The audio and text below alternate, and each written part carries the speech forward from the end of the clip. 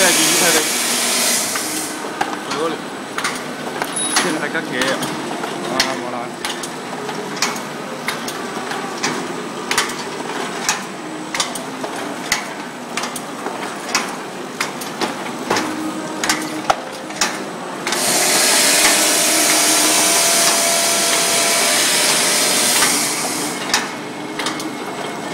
là